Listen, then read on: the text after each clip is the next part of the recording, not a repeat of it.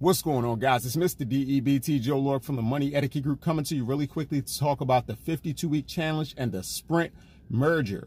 Um, I didn't make a video for this last week, but for week five and week six, I decided to invest more money into Sprint.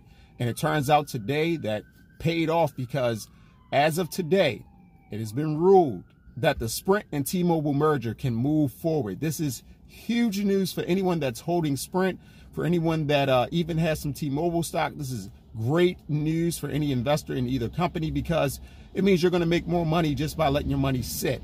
Now, the merger won't take place until at the earliest April 1st, but we could see this pushed until June, July. You know, there are a lot of uh, details that have to be worked out, but they've known about this for over a year that they were going to go for it. So they should know where they're going to downsize, where they're going to increase, how they're going to handle uh, sharing services, creating one network, uh, and certainly that's going to be a 5G network. So it's going to be interesting to see where things go. But from an investment standpoint, this is why you can't be afraid to make small investments. Okay. When I first, uh, during this challenge, purchased a share of Sprint, it was four dollars. It may have been three dollars and some change, but it was around four dollars.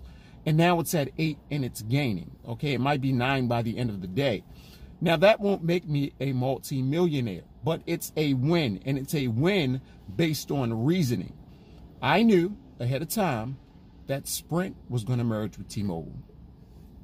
Based on the past and based on what I've seen in terms of the industry and in terms of mergers, I didn't think that this would not go through. Okay. And it did. It took time, but I felt like it was going to go through and it did. And I knew that would be a win in the short term for Sprint and in the long term for the combined company.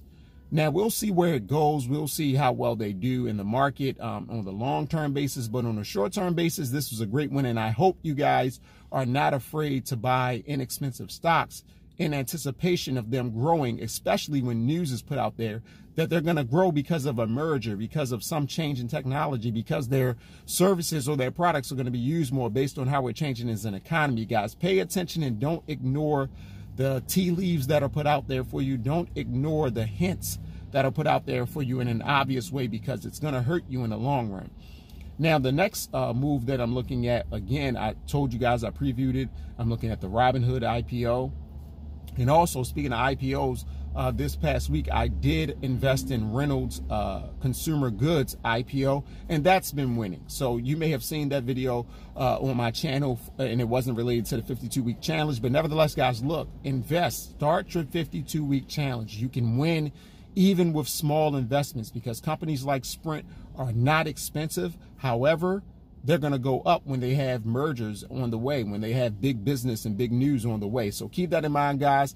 Um, this is a short and quick video, straight to the point. Again, April 1st is the earliest date that uh, the merger will take place. So keep that in mind, guys. I appreciate your time. Make sure you subscribe to the channel, hit the like button, support us. There are going to be more IPO videos, more 52 week challenge videos. Just keep on working, guys. Don't give up. Don't get lazy. Don't get back into your old habits. Keep trading, guys. Keep trading even when you're not sure about it. Just go for it at these low amounts because what do you really have to lose? $6? You're going to be okay. Just trade, guys. Get in the game. Don't sit on the sideline. Have a good one.